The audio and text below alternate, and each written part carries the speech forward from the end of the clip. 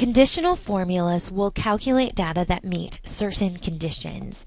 Here we have a list of employee data.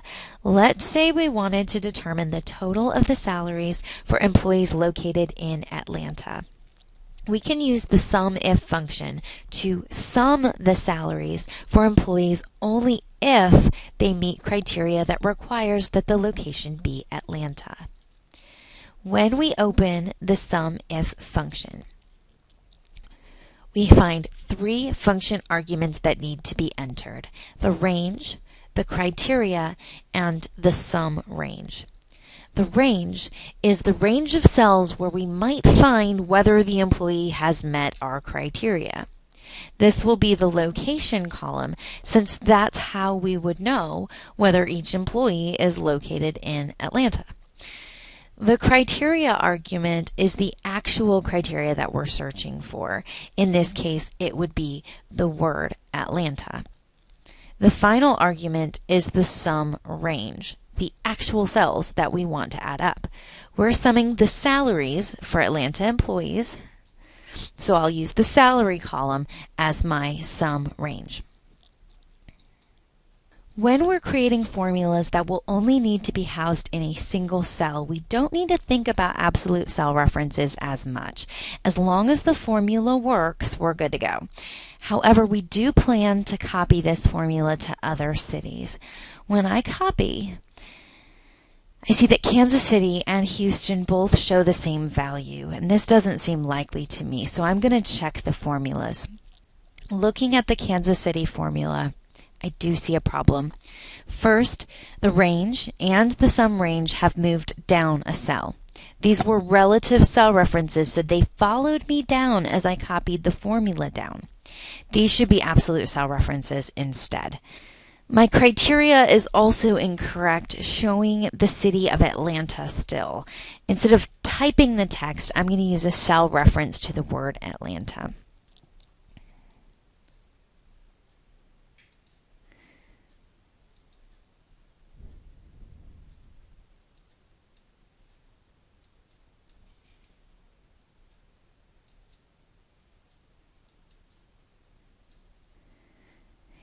Now that I've fixed my original formula, copying works correctly.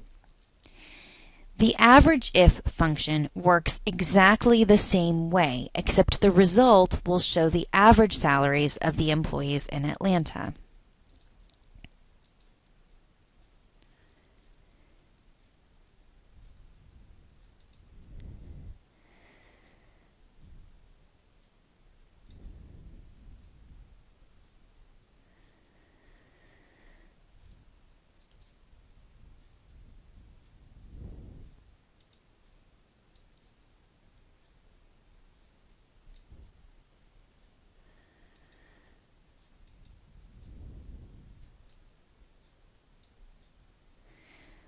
The COUNTIF function also works the same way, except we don't need a sum range or an average range, as the formula will simply count how many locations are listed in Atlanta.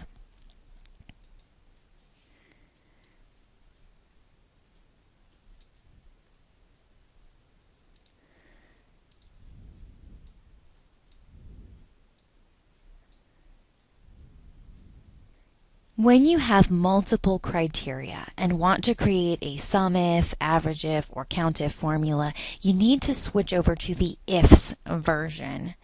Let's look at how a SUMIFS function would work. In this example, we'll calculate the total for employees if their location is Atlanta and if their pay grade is 2.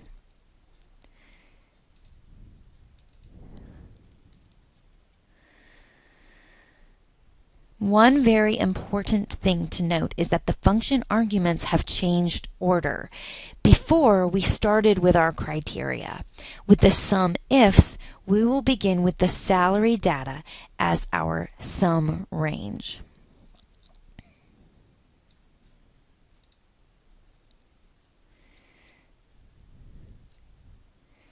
Next, we move into our criteria. First, we'll add the location criteria.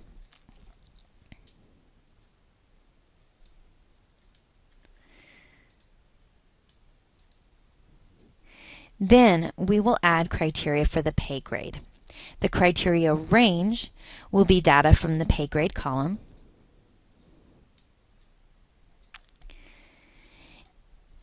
And the criteria will be the number 2 as we're looking for employees with a pay grade of 2.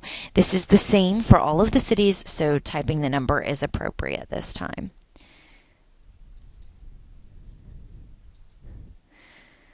When completing conditional formulas, be careful that you're choosing the correct function. First, think about what action you're performing. Will you be counting or summing, for example? Then think about the number of criteria. If you only have one, use the if version of the function. When there's more than one criteria, make sure that you're using the ifs version with the s at the end of the function name and pay close attention to the order of your arguments.